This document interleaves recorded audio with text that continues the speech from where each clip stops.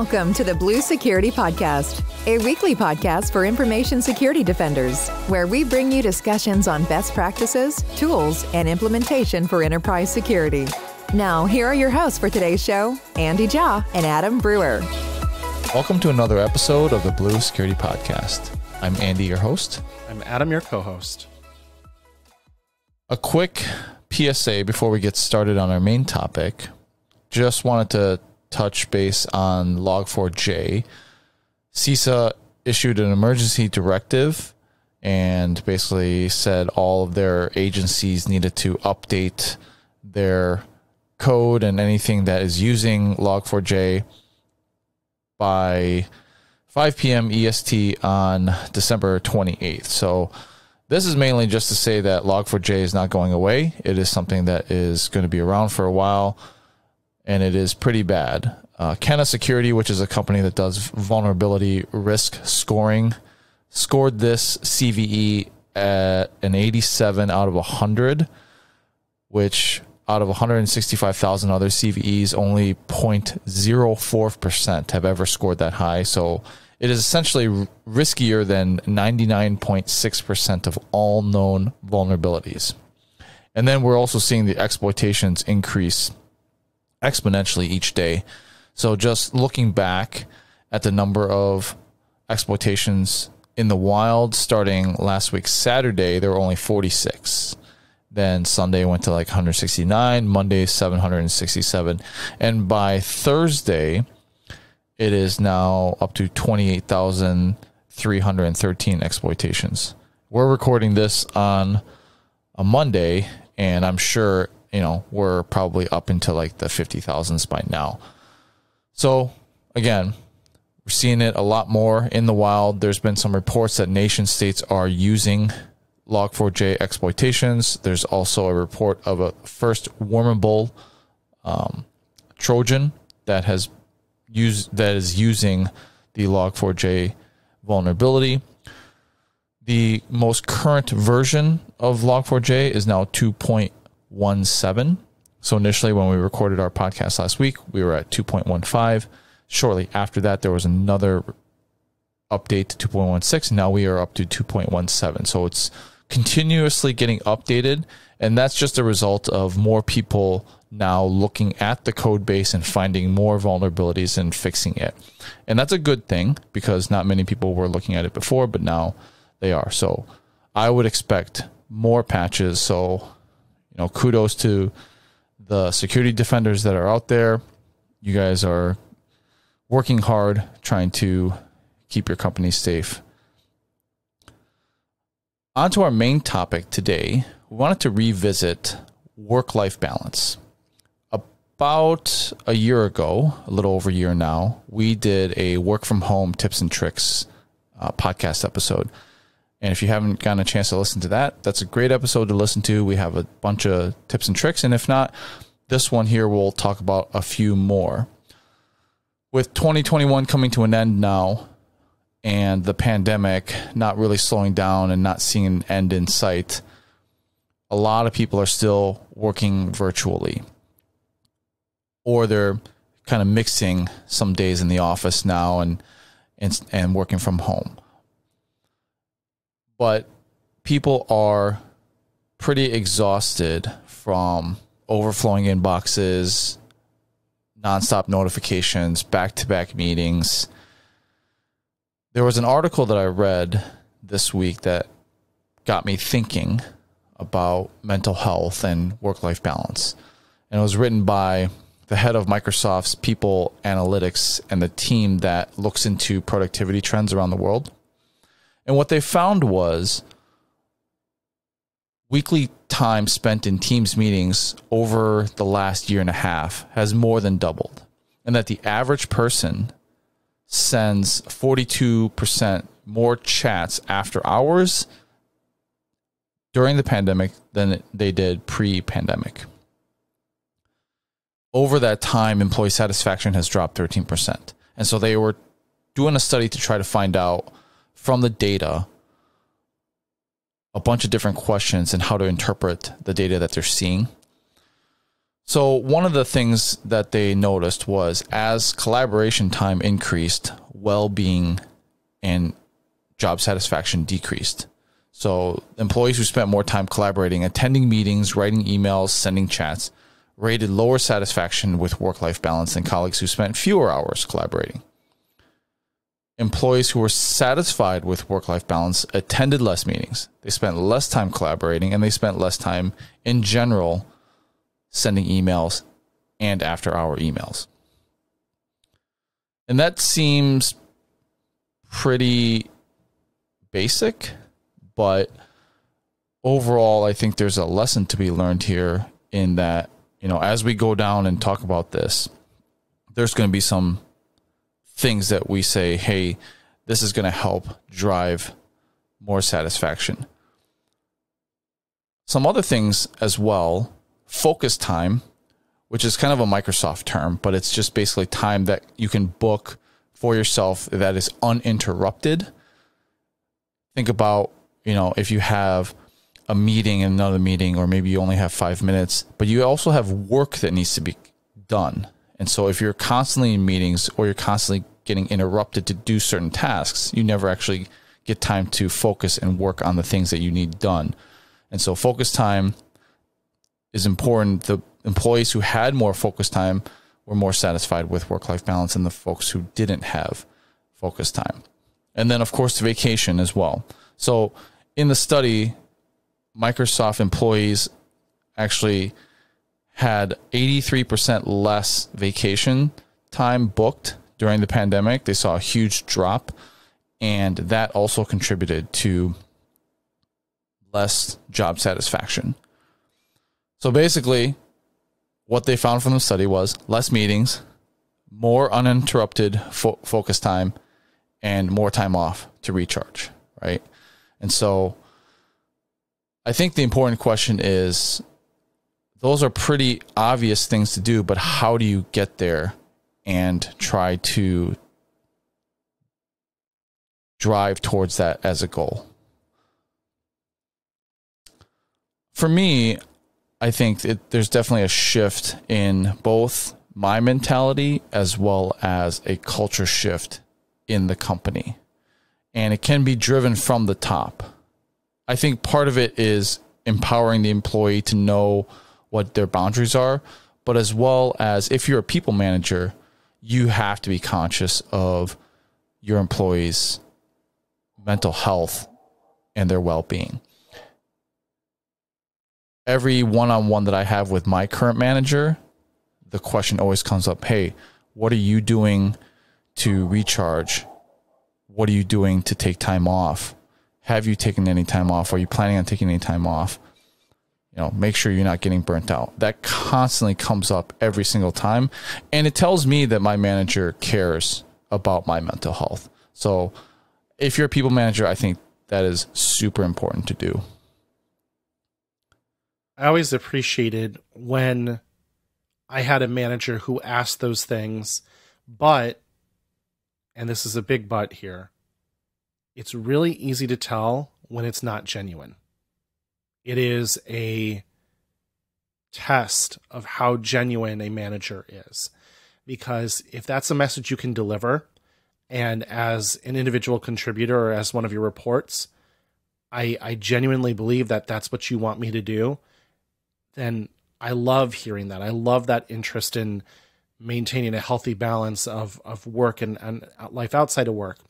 But if it comes up like you're telling people to go burn vacation so they don't lose it before the end of the year, like the time to have that discussion was in July, not in December, right? If, if you're having that discussion at that point, what that tells me is your fingers weren't on the pulse and you didn't understand where your employees' time away status was and now you're trying to make up for it after the fact which like anything we do in work or in life there's a time to do it where it's proactive and helpful and then a time where it's reactive and less helpful and that's kind of the latter so um, I think there's great advice here on that, and it's kind of one of those obvious things. But make sure that's a year long process, an ongoing process, and not something that's solely focused on like use it or lose it time or anything like that, because that comes off as much less genuine and the opportunity to do something that's really impactful, time off is much more helpful if you get it all year round rather than all at once. Another thing managers can do that is helpful is to help your team and your direct reports prioritize their work. We understand that you're not going to get it all done. There's just too much to do and you're constantly getting piled on. And so, one of the most important things a manager can do is say, what's the most important thing that you guys need to do? And what are the things that can get dropped? You can't always say, you know, I need you to do this and this and this. Sometimes you need to say, I need you to do this or this. So if you're giving that message to your team, it empowers them as well to speak up and say no to things that aren't mission critical. One of the things that, again, my manager has done for me is as these meetings have come up, we've kind of done a review of which meetings are important and which ones are not. And as I tell him, hey, I'm super busy, I'm booked with all these meetings, like, well, what meetings are you attending? And turns out there's a few that aren't as important. And he said, you know, go ahead and decline those. You know, feel empowered to decline them and free up your time to do other things that are more important. And so, again, same thing. The message comes from the top. And if you're conveying that message, the employees will probably have a better sense and satisfaction of their job. Two, two notes on this prioritization conversation. Number one, this is prioritization, especially, is a two way street. I saw a really good tweet, and I wish I had captured who wrote it, but it was really phenomenal in the sense that it said, here's how you, as an individual contributor, can help with any prioritization challenges. When your manager assigns new work to you, you say, hey, boss, this work is going to take, just so you know, about six to 10 hours of focus time to complete. I currently have my top priority as this. Do you want this to supersede that as my top priority? Do you want me to accomplish the second, third, fourth, fifth? Have that conversation right then and there up front as new work comes in on prioritization. So you understand where that's at, but also so your manager who just might not have line of sight to your current tasks and your current workload gets that line of sight. It's a two way street. If you don't educate your manager on why you're busy and what you're doing, how do you expect them to be able to make all those informed decisions? So that's one thing. The other thing, and, and you know, I, I do want to throw a little caveat in here as well. This entire show is not to say Microsoft's got everything figured out from a culture, work life balance perspective. I'll be honest. Uh, Pre pandemic, uh, pretty much best job I've ever had. Just just couldn't find a bad thing to say about it pandemic life's been tough on everyone and even at Microsoft.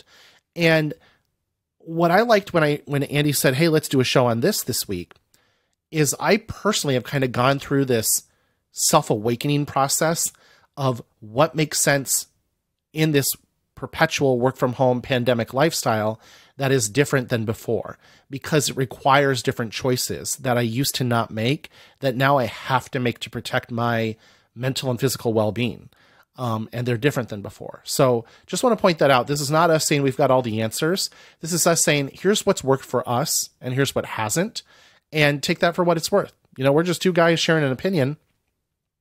But one thing our, our employer does do a heck of a lot of is a lot of research on what makes people empowered, what makes people productive, because that ultimately is our mission at Microsoft. So that's what we're saying too. So, on that note on empowerment specific to meetings, this is super helpful. I love when my managers say, You're empowered to not attend meetings that don't make sense to you. And in fact, this should be culture up and down any company. If your company has a culture that is cool with people sitting in meetings where they're not bringing value and they're wasting time, then your company likes to waste money. I remember I visited a customer once and and I won't name names, but one of the coolest things I saw at their campus was outside of every conference room was a placard that said, This conference room seats, and we'll just make up numbers, seats eight people. Given the average salary of employees at Corporation X, a cost of a one hour meeting is Y dollars. And it was a staggering amount of money. To just fill that room for one hour is money that's potentially being wasted that could be spent on other endeavors. So I know people have been talking about meetings and meeting culture since the beginning of time, but it's as important as ever to make sure that you're filling your time in the most effective manner possible. It's never a bad time to get get really sharp on that. It's interesting to hear you say that life is different pre-pandemic and post-pandemic at Microsoft because just like you, I had worked from home when I worked at Microsoft previously and then you know, I worked from home when I was at my other employer when the pandemic first started up, and now I'm working from home from Microsoft again. And I think, as I'm thinking about it now, when you said that, the difference is that the pandemic affected everyone and that we can't go anywhere else. Like before, we were working from home, but we had other outlets where we could like go and do stuff, and you know, life was more open, and I think everyone was just happier. But now, you know, with the lockdown and everything else, just your outlets are different, and so um, that has affected, I think, just everything in general. So I do agree with you there, and um, that you know the pandemic has affected everyone, even if you are a seasoned work from home, you know, employee, which you know you've been working from home for years now. Mm-hmm. Um, but it's it is different with the pandemic. So there are things that you should consciously do to try to protect your mental health. And that's why we're talking about this. I'll just be honest. Work from home was a lot cooler when not everybody else was working from home. uh, not, not so much in the sense that I was getting over on everyone, but in the sense that when everyone is not traveling, not on airplanes, not driving in cars, not really doing anything but sitting and banging out emails and sitting in meetings, it, it, there's this natural inclination to create more busy work. There's just more inspection, more people asking questions, more people saying, "Hey, well, I'm kind of bored today, so I'm going to go bother so and so about this," you know. And um, when all those people were busy traveling on airplanes, driving cars, whatever, um, there was less time for kind of more the more menial work, I think, and that's part of what I see as built up from work from home is because you don't have those other endeavors that kind of consumed people's time it now gets gets rolled up into you know in, enhanced inspection enhanced expectations of productivity and also just a lack of other other activities at work. You know and a lot of workplaces are trying to do kind of like oh virtual happy hours or virtual this or virtual that. I don't i don't do any of those because they they don't remotely replace the real thing and so I find them just a kind of a waste of time and maybe other people agree with me.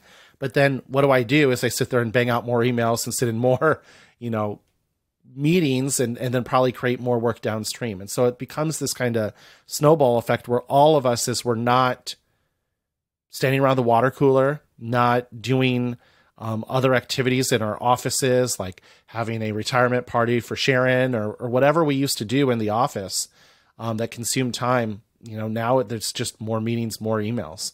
And i think that's why everyone feels this this overload is just because a lot of those other kind of social secondary tertiary activities at work aren't happening right now. And i think that's part of the problem too.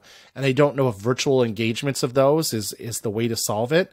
It's just honestly getting people to step back and say you didn't work 40 hours a week in the office anyway. I mean i know when i did go in the office we used to walk over to the convenience store like a block away and grab a tea or something, you know, grab a coffee just just to get out, just to go for a walk.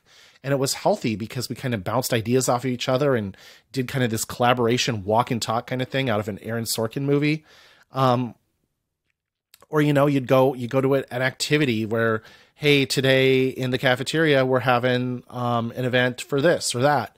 And just all those little things add up they really do, and they're not happening right now. So I think that's part of it as well.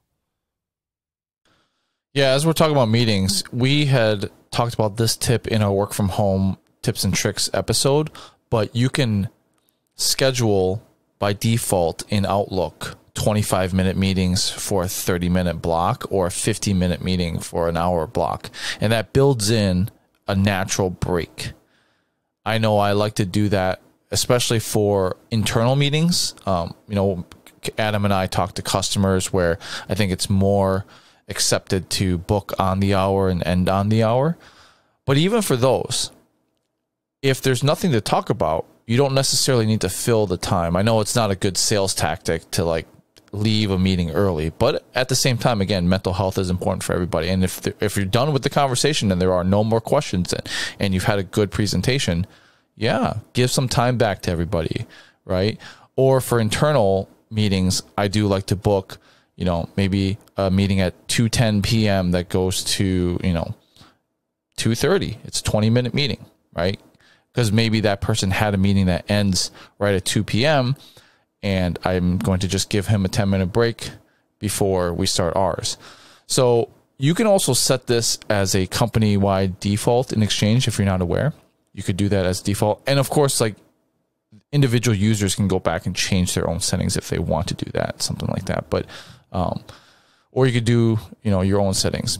But I think it's important to build in breaks.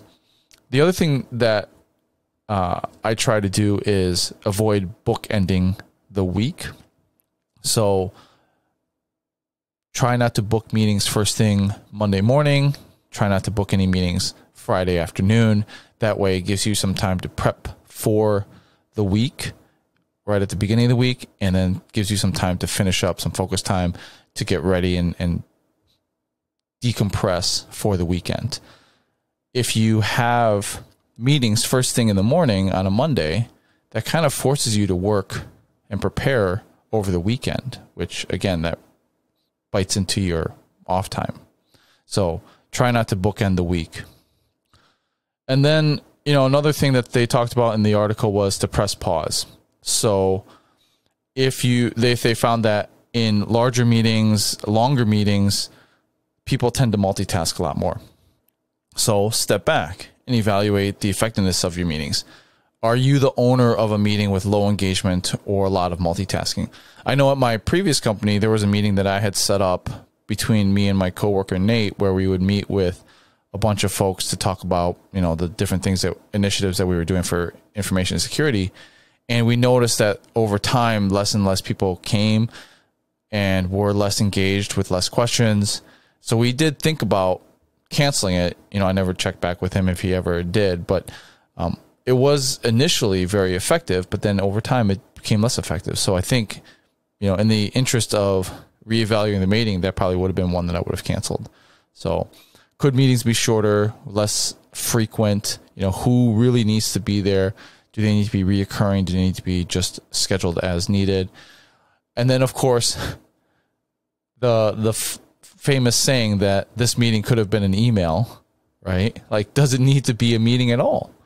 Could you just have messaged back and forth the information? Sometimes it's better to just get on and, and do a call real quick or something like that, but sometimes meeting could have been an email.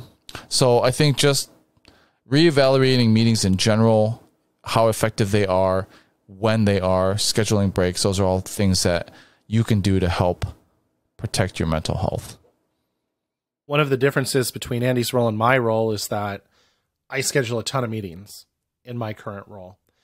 And so I've done both ways on this Outlook feature where you can either start late or end early for meetings because they're both options there, along with doing that little bit of shortening. And I can tell you absolutely positively, and this should be no surprise to anybody listening, the more effective option is start late. And here is why. End early will say, oh, this meeting's done at, you know, we'll say 250. So what happens when 250 rolls around? Nobody has a meeting booked till three. We all know that. And we didn't quite get done with what we wanted to talk about. So we just keep going till three o'clock. All right. Well, that did a whole heck of a lot of good. So, in my opinion, the much more effective tool is Start Late. However, with Start Late, because people aren't accustomed to meetings beginning at 235 or 210, you need to put, and I do this every single time right now, and I should really get one of those tools that can like automatically import text, text strings for you that you use type commonly uh, to say like note that this meeting starts at 10 minutes past the hour. And of course, I have people in all the time zones, so I can't even say what hour it is. I just say 10 minutes past the hour. Um, but that's really, really has worked out really, really well. As long as I put it in the meeting notes as well as the start time, people tend to respect it. And I, I have used it with customers, internal and external to Microsoft. And the feedback I get is overwhelmingly positive. And as somebody who's in a sales role, what is kind of one of my number one goals when I have customers on a call? I want them to be engaged, right? I want them to listen. I want them to be active listeners and active participants. If somebody is holding their bladder because they had back to backs, or if somebody is so mentally fogged because they've had so many back to backs, I don't want them on my call. I want them to get a little bit of a break, a little bit of a recharge before they join me, and then hopefully we we have an attentive audience. So when customers get on calls at that start 10 minutes past the hour and they say, thanks for scheduling it like this. This was great. I was able to grab a cup of coffee and use the restroom and uh, just kind of refresh my mind a little bit and bang out like a quick email or two. This was great. I really appreciate you doing this.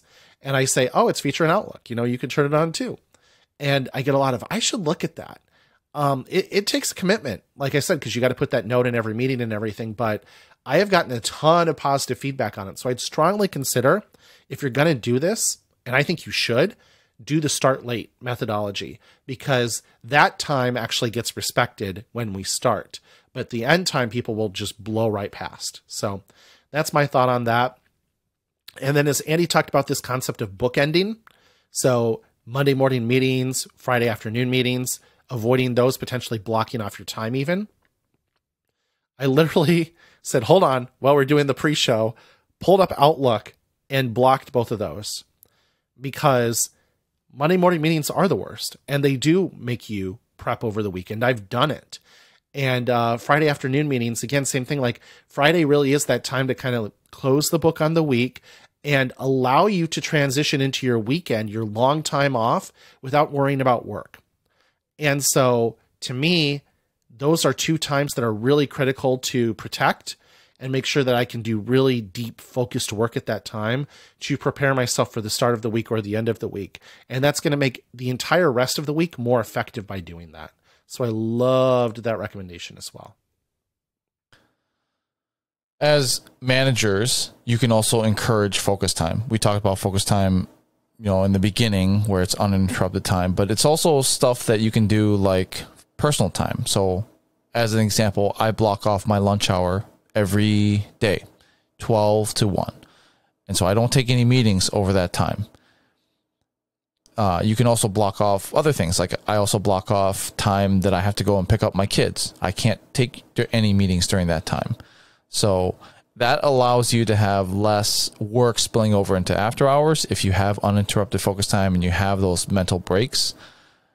And you can also use technology to respect quiet hours as an example, I have turned off notifications completely. You can also do it after a certain period of time. Actually, for my phone, I have uh, notifications just for everything in general, turn off at 7 p.m. But you can turn off notifications, for example, within Teams. You can actually just have Teams notifications within the app turn off. You can also turn off specific apps uh, within your phone as well. But as an example, Outlook for me, since the start of the pandemic, I have turned off notifications for Outlook. Doesn't matter where I work.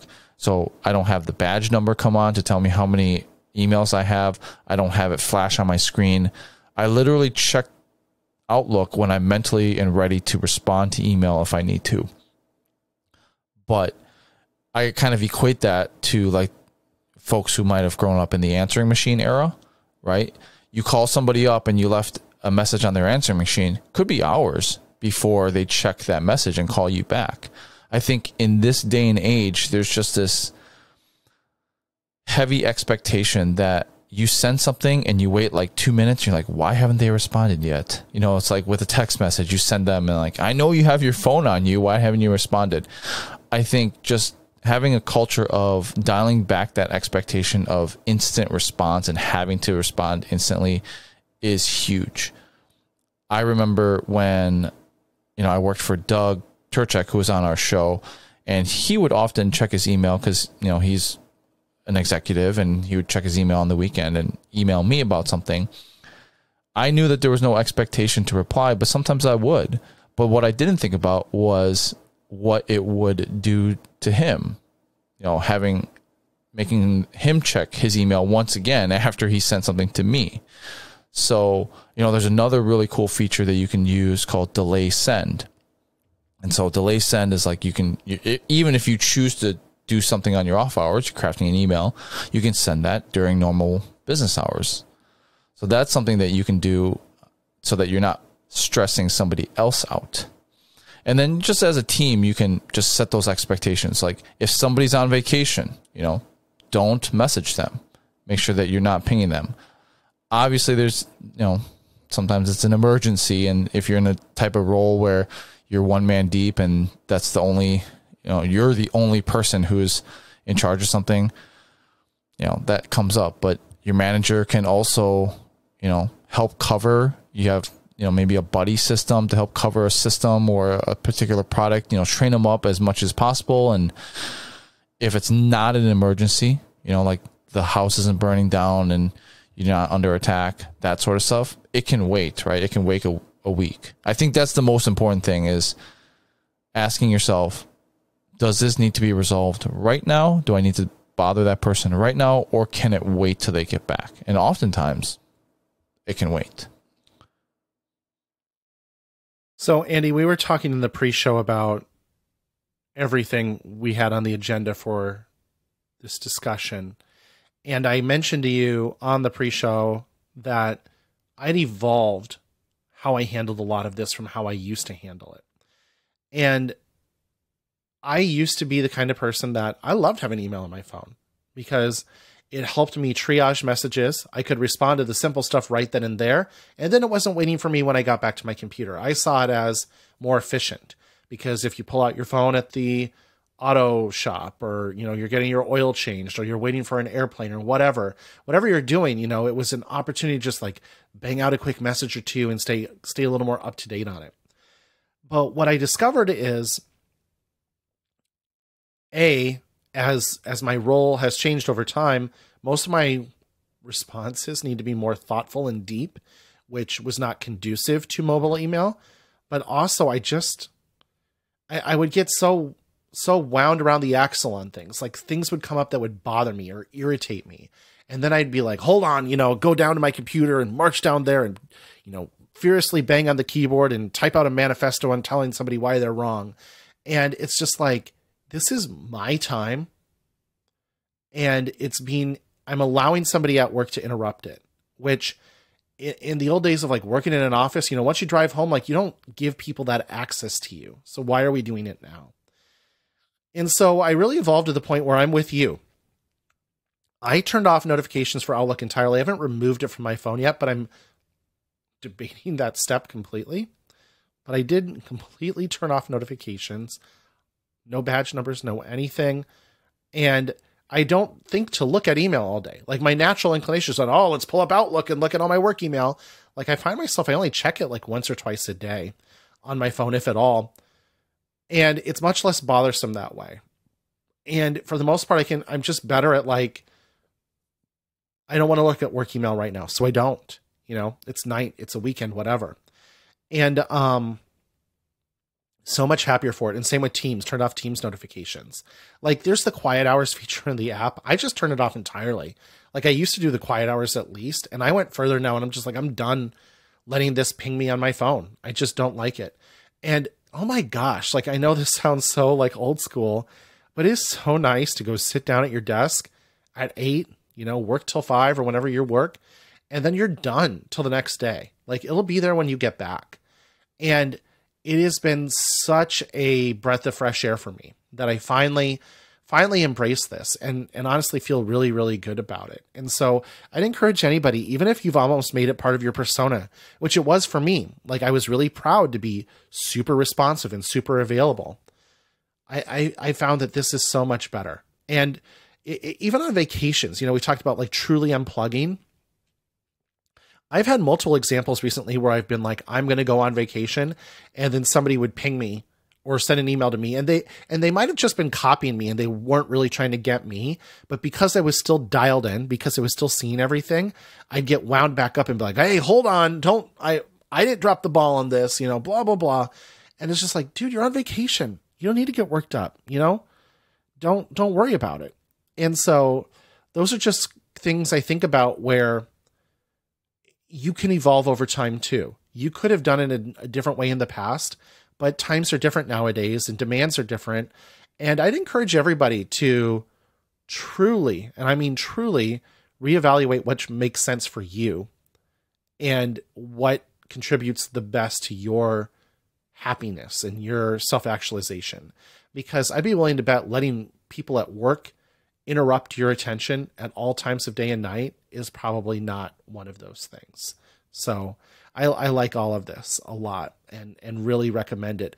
At the least, use the quiet hours, but if not, consider going even further. I, I'm really glad I did, and I never thought I'd be one of those people. I never thought I'd be having this conversation. You know, and of course, in information security, I've been internal IT before, and I understand that there are times when you're on call.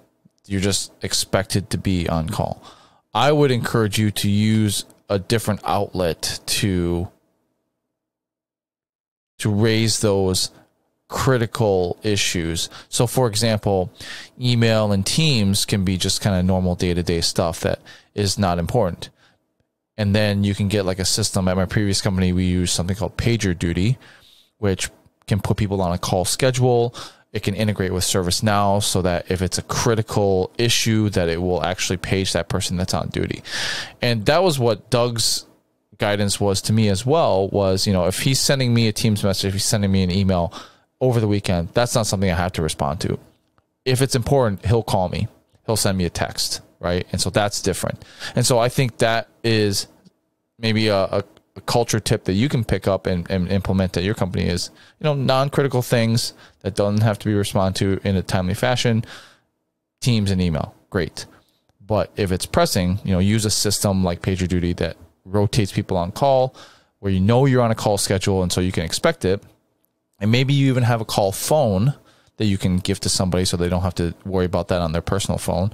Um, or you know you can just say as a manager, yeah, if it's important, I'm going to just give you a call. Just give me your cell phone number, right? Then you know it's important. Love that. Um, and and um, a couple other things you touched on too that I forgot to just weigh in on. Delay delivery, delay send. Huge fan of that, and not just because it helps set boundaries and be respectful of other people's kind of working hours, but again, like you didn't go to all that work of writing that email for people not to see it. And for a lot of our listeners who are in security engineering or security operations, I'd be willing to bet you get a lot of automated emails. And I'd be willing to bet a lot of those automated emails come in during the overnight hours. And so I'd be willing to bet if you send an email at eight, nine o'clock at night, it gets buried under a pile of automated alerts that come in in the overnight hours, 1, 2, 3 a.m. And by you sending that email working at night, you actually just shot yourself in the foot because now people aren't going to see it because it gets buried in that inbox behind all those alerts or whatever. And it, it just never gets seen. I have learned like the worst time to send an email is anytime after somebody quits for the day and before they come in the next morning. Because there's so many scenarios where they looked at it on their phone at night and forgot about it, or it gets buried because a bunch of other stuff comes in. Use delay delivery and have it send to them first thing in the morning. I do this all the time. I will sit down and like again, this might not be good from a setting boundaries perspective, but it feels good from a at least like prepping my week perspective. If I sit down again on a weekend, sorry, um, and I and I do decide to do a whole bunch of email, I don't send those on Sunday afternoon. I have those all go out Monday morning at 8 a.m. local time for different people because I work across a bunch of different time zones.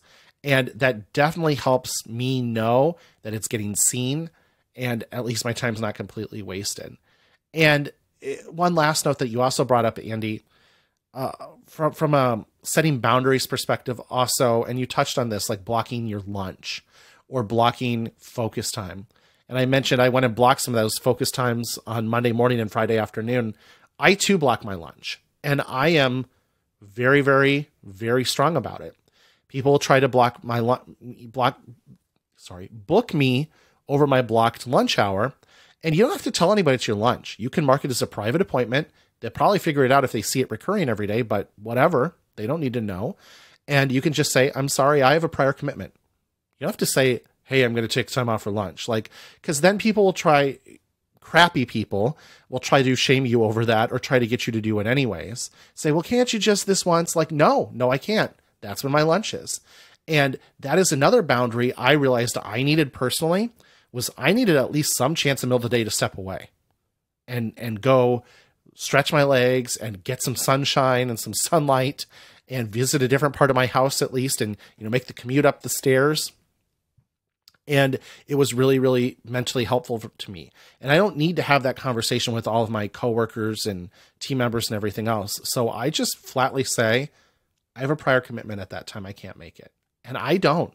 I don't for anything.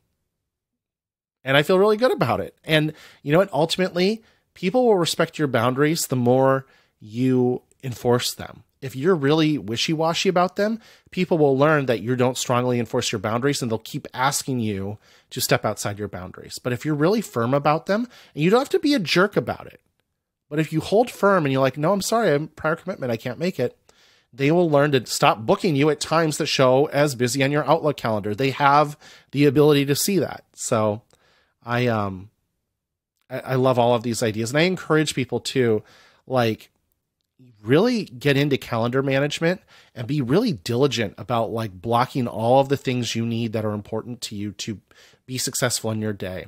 And mark them all as private if you want to and don't answer to anyone on what they are or what you're doing. Maybe your manager if if they really inquire, but for the most part like anybody else doesn't need to know. They just need to know you have a prior commitment and you can't make it. And I encourage people to get really really firm about that. I think the more we make it culturally normal to be protective of one's own time and, and what enables you to do your best, most focused work, the better off we will all be. Yeah, and then of course, like the final thing is, you know, take time away. If you're a manager, encourage your folks to take time away. Like I said, in my one-on-ones with my current manager, every every time every week, you know, that comes up. Um, there was one week where he was talking to me and he said, "Hey, like I don't think you've actually taken a lot of time off. I'm worried that you might burn out. I actually, by next week, I want you to book a couple of days off. That was his to do for me. And so, as managers, you can drive this culturally. I know at Microsoft, we get um, to use our sick leave as mental health days. That's something that's super helpful as well. Um, they also offered us like five well being days, which, you know, that uh, that helps uh, everyone recharge and it doesn't cut into your vacation time. But an important thing is is that you don't necessarily need to go anywhere. I think because of the pandemic, everyone associates vacation and time off with like taking a trip or going on a vacation somewhere. But it could just be a staycation, right? You could just take time off and binge some Netflix shows or something like that. That is recharging play some video games, you know, go for a walk, do whatever it is that isn't work. Um, so, you know, I was talking to you, Adam, before um, we recorded about a friend of mine, which also kind of prompted this conversation. You know, sounds like his manager is pretty terrible right now, where, you know, the expectation is that he needs to be, you know, checking his email um, when he's on vacation uh, there's some spots that he likes to vacation in um, in Wisconsin where there's no cell phone signal, so he he couldn't check email if he wanted to, and the place that they rent doesn't have Wi-Fi. They just they're just off the grid. But his manager was like, "Well, you better drive to another town and find like a Wi-Fi hotspot in a coffee shop so that you can check your email because you know that's the expectation." Uh, it's like you're on vacation. And it was like over a weekend too you know? It's like a three day vacation. It's not like he's gone for that long. So you know what is it in a weekend that is going to be so important right? That can't wait till monday. And so that's you know if you're that type of manager you work for that type of manager you know try to gently you know change that that culture because that is not healthy um so encourage time away encourage unplugging. Um, if I if I took time away, you know, my manager's like, don't check your email, don't look at Teams, you know, turn everything off. Um, and uh, I would actually get yelled at if I sent an email knowingly or sent a message knowingly while I was on vacation, right? And at my previous company too, when I was on vacation, my coworkers were super uh, respectful of that. You know, they they would joke because I would send messages in Teams every now and then, and Nate would joke that, oh, it's this bot, Andy bot, that's like responding automated messages, even though was, you know he was joking that it was a bot that was uh, responding, but it was really me. But yeah, I mean, it wasn't healthy for me to do it, but they also would kind of shame me in a way that you know, hey, you shouldn't be checking stuff while you're on vacation. So, you know, make sure that when you do take time away to really step away, and that's important. I, I think so much of this conversation just comes down to reevaluate your boundaries, set those boundaries, enforce those boundaries, and find an organization that will allow you to do that. And I get, you know, switching jobs, you know, regardless of the great resignation or anything else, the the great reshuffle is still hard. But you do deserve a culture that is supportive of your mental and physical well-being and please if if you're a manager and and you can do anything about a culture like Andy just described, please do what you can to fix that because that's terrible. And if you're somebody who's employed there, please try to find something better. I promise you it does exist. When Andy told me that story, here's what my reaction was. I said, I get and accept that that really happens, that that is not like a made up story. There are managers like that. I said, I don't know what I've done in life, but I have never had anybody remotely like that ever. And I don't know if it's Midwestern culture or or if that's like an East Coast thing or wherever. I haven't run into it around here, and I've been very very fortunate to never run into it. And I um I I I just am dumbfounded every single time I hear it. So, you know, ultimately this was this is a good show, you know, talking about different tools that can help things like quiet hours, things like delayed delivery, things like uh, shortened meetings, built-in breaks in in Exchange and Outlook. Um, but a lot of this too just is really around you and your manager and having really tight discussions on getting aligned on prioritization. And then again, just having that support system up and down your organization that enables and supports people to do their best work and live their best life and do both of those things at the same time. Yeah, information security is hard enough as it is just as a normal job. And so, you know, I both of us encourage everyone listening and, you know, spread the message. We got to protect our mental health so that we don't burn out because it is really really easy to do and it's happening all the time in this career field. So, thanks for a great conversation and thanks for listening.